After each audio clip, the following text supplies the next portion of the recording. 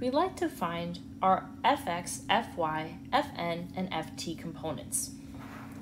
So let's first find our angle theta.